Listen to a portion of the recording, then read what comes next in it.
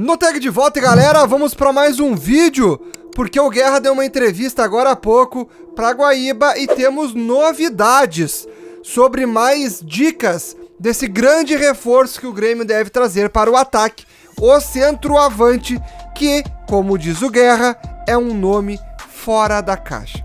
Antes de mais nada, quero lembrar para vocês aí da ntgimports.com.br, vai lá e garante tua camisa, tem a tricolor, tem essa linda celeste. Aproveita, tá rolando promoção.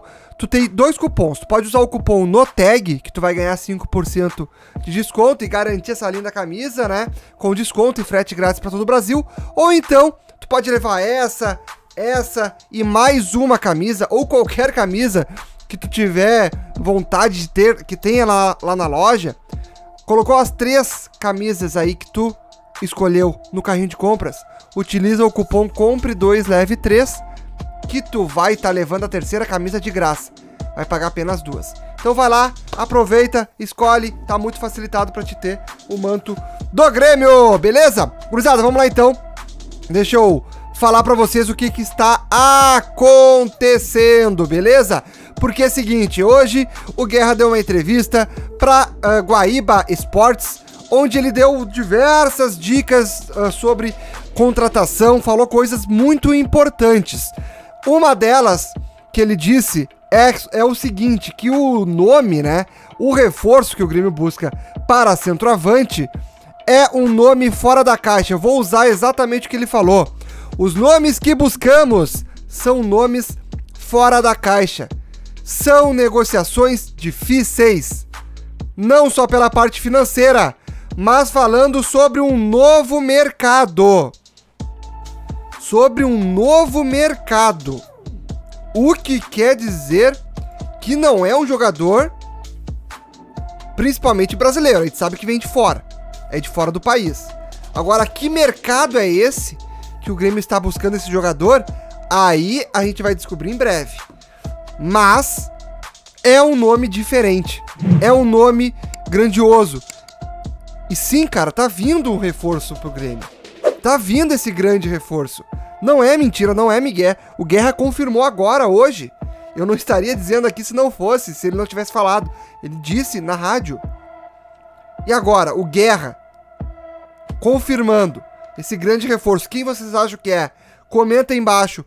Nomes fora da caixa, que não estão especulando. Nomes que estariam aí então sendo de um novo mercado. Aí eu pensei, ah, podia ser o Abubacar. Mas ele também falou sobre o Abubacar, que foi o seguinte. O Abubacar ele disse assim, ó. Desde que soubemos da saída do Soares ano passado, sondamos e conversamos com o Abubacar. Hoje ele está mais distante, até porque o Abubacar já revelou desejo de jogar na Premier League e estaria avaliando né, outras propostas caso ele não consiga ir para lá. Seria mais ou menos o que aconteceu com o Cavani lá em 2020, onde ele estava pensando em vir para cá, porém resolveu ir para a Premier League para jogar no Manchester United. Então o Abubakar pode não ser este o centroavante. Não descartado, mas ele está mais distante, assim como foi dito pelo Alberto Guerra. Mas o Guerra confirmou que são nomes fora da caixa. Ele também falou que não quer comprometer prazos, né? Mas diz que quer um grande nome e assim que terminar a negociação, ele vai anunciar, vai ser anunciado pelo Grêmio, mas ele não quer prometer prazos porque eles, estão negociando com esse grande nome, né? Eu acredito que eles estejam conversando com mais de um. E aí não querem se comprometer quando de fato vai ser anunciado. E ele confirma, né? Ele também fala que vem de fora. Ele diz: o mercado na Europa é muito maior que o nosso mercado nacional. E que, e que a probabilidade de vir um atacante de fora do Brasil é boa.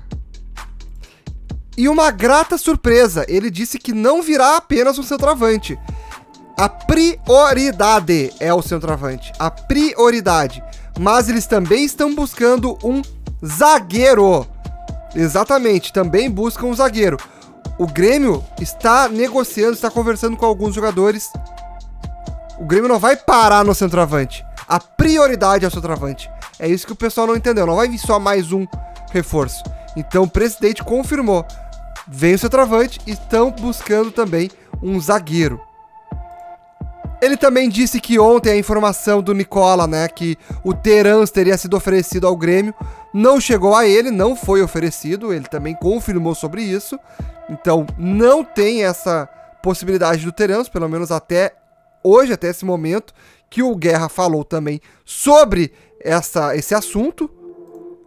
E para completar, ele trouxe a informação que o Marquezin deve chegar no final de semana. Ele sai da Espanha ali pela quinta ou sexta-feira e chega uh, final de semana no nosso Grêmio.